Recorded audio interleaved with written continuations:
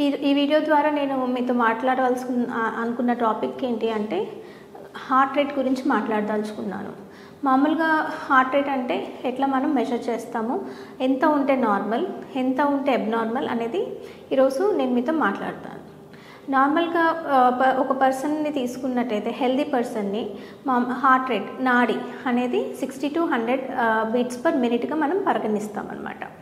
అదే దీనికన్నా తక్కువగా ఉంటే దాన్ని బ్రాడికార్డియా అని అదే హండ్రెడ్ కన్నా ఎక్కువగా ఉంటే దాన్ని టెకికార్డియాగా పరిగణిస్తాము.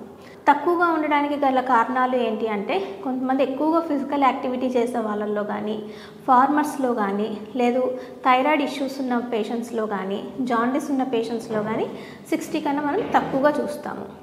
అదే హండ్రెడ్ అంటే హండ్రెడ్ కన్నా ఎక్కువగా ఉండడం దాన్ని టెకికార్డి అంటాము.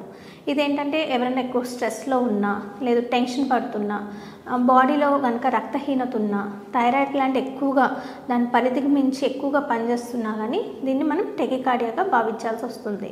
మామూలుగా సెవెంటీ టూ బీట్స్ పర్ మినిట్ని మనం నార్మల్గా కన్సిడర్ చేస్తాము అనమాట సో ఒకవేళ ఫార్టీ ఫిఫ్టీ బీట్స్తో ఉన్నారు హార్ట్ రేట్ అది ప్రమాదకరమా అంటే అదంత ప్రమాదకరంగా మనం పరిగణించాల్సిన అయితే అవసరం లేదు.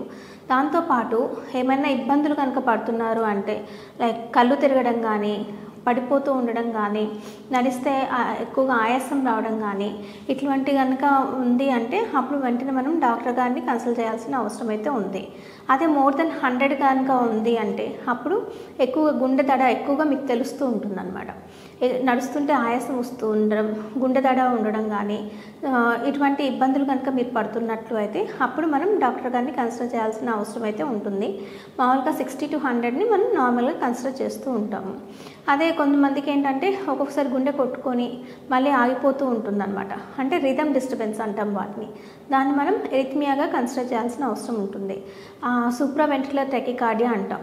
అంటే పేషెంట్కి మోర్ దెన్ వన్ ఫిఫ్టీ కన్నా ఎక్కువగా కొట్టుకుంటూ వాళ్ళకి నీరసం వస్తూ ఉన్నప్పుడు చెమట్లు పడుతున్నప్పుడు కానీ ఎక్కువ గుండెదాడ ఉన్నప్పుడు కానీ దాన్ని మనం చాలా సీరియస్గా కన్సిడర్ చేయాల్సిన అవసరం అయితే ఉంది. సో ఇప్పుడు గుండె నాడిని మనం ఎట్లా తెలుసుకుంటాము అంటే ఇట్లా చేతిని పట్టుకొని మనం ఒక నిమిషానికి ఎన్నిసార్లు గుండె కొట్టుకుంటుంది అనేది మనం కౌంట్ చేస్తూ ఉంటాము. సో ఇప్పుడైతే ఆ అవసరం అయితే ఏమీ లేదు. ఎందుకంటే కోవిడ్ వచ్చిన తర్వాత ప్రతి ఒక్క ఇంట్లో పల్స్ ఆక్సిమీటర్ ఉంటుంది. ఎవరికన్నా ఇట్లా కొంచెం గుండె కళ్ళు తిరిగినప్పుడు కానీ చెమటలు పడుతున్నప్పుడు కానీ ఆ పల్స్ ఆక్సిమీటర్ పెట్టుకొని చూడడం వల్ల మనకి ఎంతసేపు గుండె కొట్టుకుంటుంది.